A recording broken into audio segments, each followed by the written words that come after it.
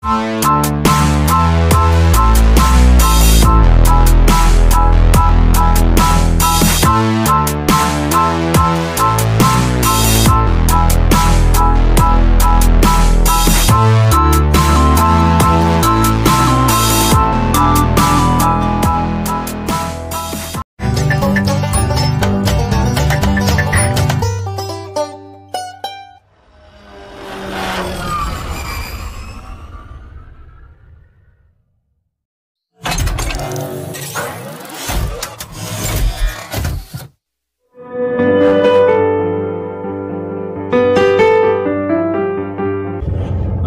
assalamualaikum warahmatullahi wabarakatuh.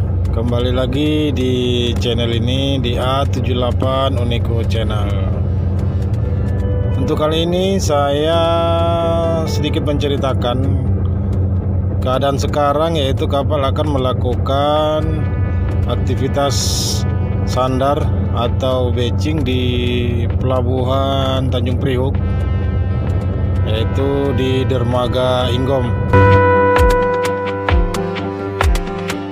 Dan sekarang kapal masih melakukan atau proses untuk batching atau longside di Tanjung Priok ini.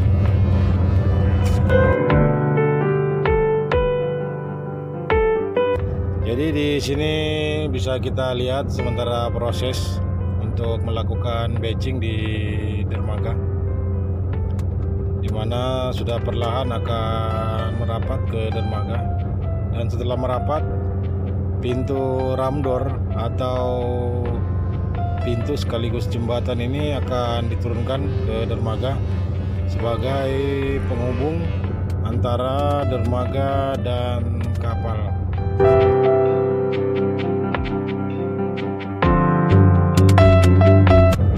Perlahan-lahan kapal sudah akan segera batching atau longside di dermaga Inggom di Tanjung Priok. Kita bisa lihat prosesnya. Setelah proses sandar ini sudah hampir dilakukan, kita lanjutkan dengan memasang tali kapal ke dermaga atau memasang tali tambat.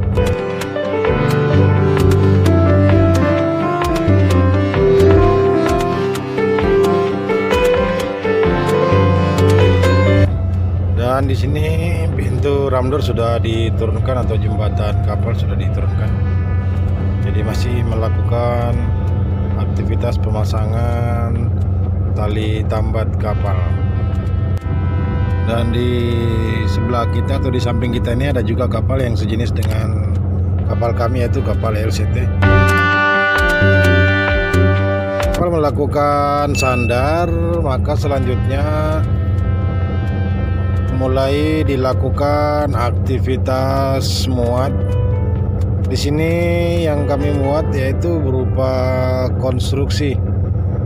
Jadi bukan alat berat yang seperti biasa kita muat, tapi kali ini kita memuat konstruksi di mana kegiatan muat ini dilakukan oleh TKBM atau tenaga kerja bongkar muat pihak pelabuhan Tanjung Priok.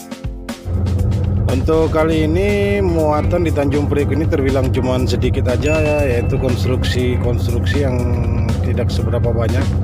Sebab dari Tanjung Priok ini kapal akan melakukan pelayaran ke Tanjung Perak di Surabaya.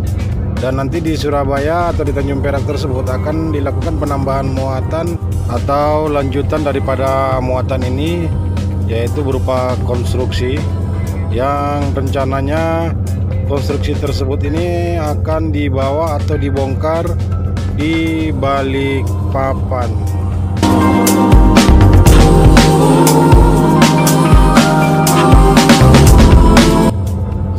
Selesai melakukan aktivitas muat, untuk selanjutnya kami kru kapal akan melakukan kegiatan yaitu lasing atau mengikat muatan yang ada di atas kapal. Subbreaker Aktivitas lasing ini atau mengikat muatan ini pasti akan dilakukan oleh setiap kapal LCT yang melakukan pemuatan ataupun semacam kapal feri yang melakukan perjalanan jauh.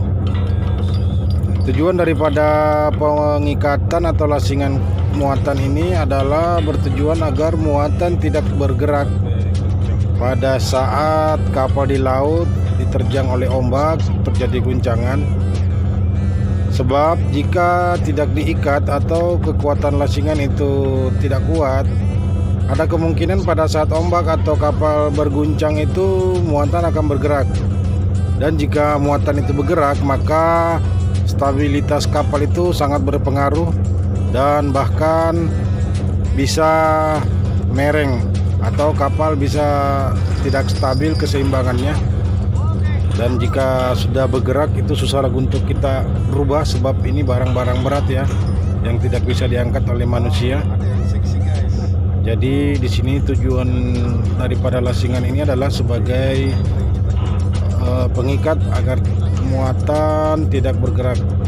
Di mana kunci daripada keselamatan kami atau kapal LCT ini kuncinya adalah di lasingan muatan sebab banyak kejadian jika lasingan tidak kuat itu sangat fatal akibatnya jika terjadi ombak apalagi jika ombaknya itu cukup besar yang menghantam kapal sehingga kapal bergoyang yang mengakibatkan hilangnya stabilitas keseimbangan kapal. Jika stabilitas kapal tidak seimbang atau mereng maka itu sangat berbahaya bagi kapal LCT semacam ini ya. Sebab rata-rata muatannya itu uh, cukup berat. Setelah semua sudah diikat atau muatan sudah dilasing selanjutnya sebelum kapal berangkat maka akan dilakukan pengisian bahan bakar atau BBM yang bertujuan untuk digunakan selama kapal sampai di pelabuhan berikutnya.